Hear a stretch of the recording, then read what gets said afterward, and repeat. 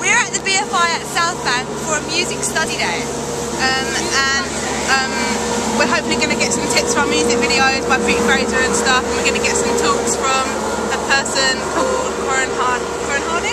Corin Hardy. Corin Hardy, who is a um, music video director. director. And he's worked with the likes of Keane, McFly, Ollie Murs. um, so yeah, we're really excited about that. And um, we're also going to get a talk from Nikki North. So it should be good.